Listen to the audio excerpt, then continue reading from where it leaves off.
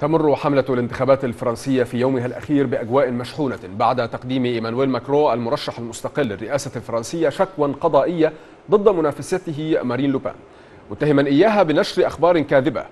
كانت المرشحة اليمين المتطرف قد قالت خلال مناظرة تلفزيونية مع ماكرون إن منافسها يمتلك حسابا بنكيا لم يفصح عنه في جزر البهاما الأمر الذي نفاه ماكرون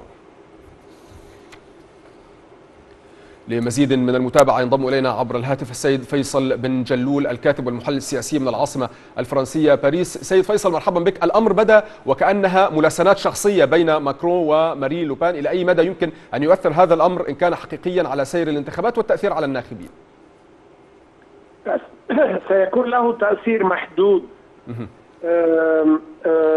كان يمكن أن يكون له تأثير أكبر لو جرى في بداية في بداية الحملة الانتخابية لكن اليوم أظن بأنه تأثيره محدود خاصة أن الفارق بين الطرفين بلغ حوالي 12 نقطة حتى الآن وبالتالي أي مناورة من هذا النوع قد تكون مضرة لما بعد الانتخابات أكثر منها خلال الانتخابات. حول أصداء هذه المناظرة أستاذ فيصل البعض كان يقول إنه حتى وإن كان الفارق يبدو كبيرا كما ذكرت حضرتك لصالح لصالح مرشح حركة إلى الأمام إيمانويل ماكرون لكن مارين لوبان تبدو صاحبة لسان أكثر فصاحة صاحبة تمرس على مواجهة الكاميرات صاحبة لغة خطابية سياسية أكثر مقبولية من إيمانويل ماكرون. إلى أي مدى كان هذا الأمر صحيحا وأثر كذلك في سير هذه المناظرة؟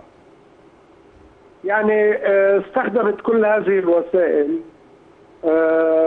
ولكن تبين من استطلاعات الرأي أن هذه الوسائل لم تكن فعالة وأن العقبة الكبيرة في خطابها كانت أنها لا تملك برنامج رئاسي يستدرج ثقة الناخبين الرأي العام أو ثقة القسم الأكبر من الرأي العام. بدأ في خطابها أنها تستميل أنصارها أكثر من أي شيء آخر وتشد عضدهم. وبالتالي المشكلة بالنسبة إليها كانت وما زالت صورتها في الحكم وما ستنفذه بالحكم. عندما تتحدث مارين لوبان عن بداية بخطاب يميني مفهوم بخطاب شعبوي أكثر فتقول إن مسألة الخروج من الاتحاد الأوروبي ستكون مسألة وقت وستطرح الأمر للاستفتاء لكنها بعد ذلك تعود للقول بأن ذلك ليس أمرا حتميا. هذا يشير إلى مرونة من قبل أهل السياسة ولا يشير إلى تراجع واهتزاز في الرؤية أصلا؟ ليس اهتزاز بالرؤية هذا سببه تكتيكي لأنه آه تحالفت مع السيد نيكولا ديبون إنيو وهو يميني معروف ولديه حوالي أكثر من مليون ناخب في الدورة الأولى كان. وكان عليها أن تعدل خطابها قليلا لأنه هو لا يريد الخروج من أوروبا نعم. بنفس الطريقة. يريد آه مفاوضات مع أوروبا تحسن شروط العلاقة بين فرنسا وأوروبا. إذا التغيير في خطابها تكتيكي.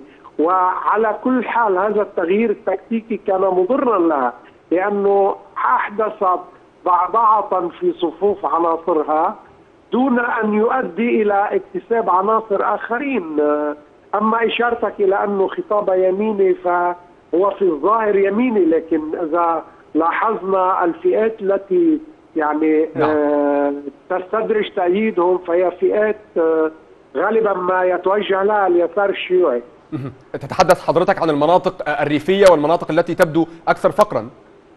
الحزام الحزام ما يسمى بالحزام الأحمر حول باريس وهو كان منطقة نفوذ للحزب الشيوعي الفرنسي لكن أصبح الآن قسما منه يؤيد نعم. قسما كبيرا يؤيد مارين لوبين كان الأمر يحتاج إلى تأصيل ونقاش أكبر لكن على حال أشكرك شكرا جزيلا السيد فيصل جلول متحدثا إلينا عبر الهاتف من العاصمة الفرنسية باريس. شكرا جزيلا لك.